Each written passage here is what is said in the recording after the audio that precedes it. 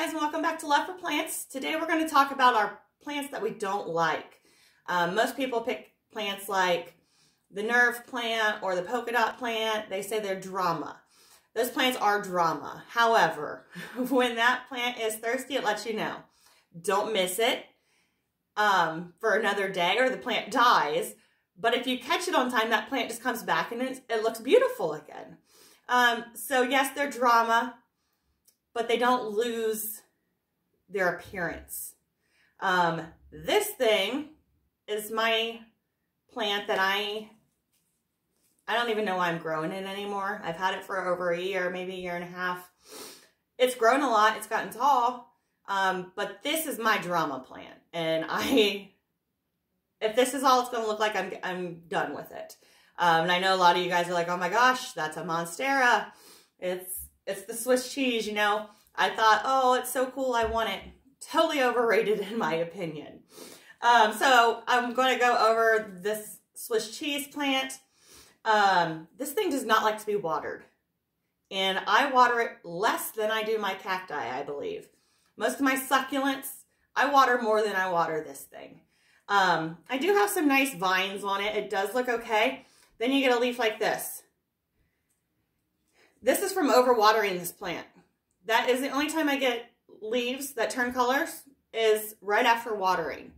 Um, I have a ton of stuff in here for drainage. There's actually a cement brick in the inside, so it's not like this whole pot is holding dirt and holding moisture. Um, but anytime I water it, like I will fill a cup like this, and this is all the water I give it.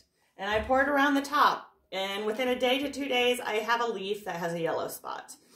Um, so it's, I, you know, I don't even know when to water it anymore. It, it just doesn't look pretty. So every, every time I'm done watering, like here's another one, I'll end up picking those leaves off eventually.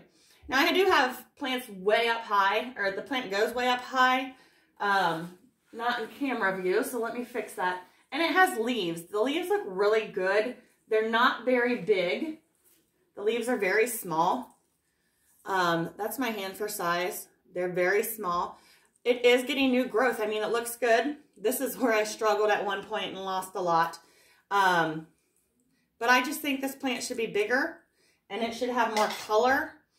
Um, something about it just being green. I thought, you know, all the pictures I saw, it was like big, beautiful green holes it's really just, to me, it's not all it's cracked up to be. It's not even like, there's no shades of anything in this leaf. It's just green, which is good. It That means good things, but I don't know. I look at it and it's just not attractive. So this is my number one plant.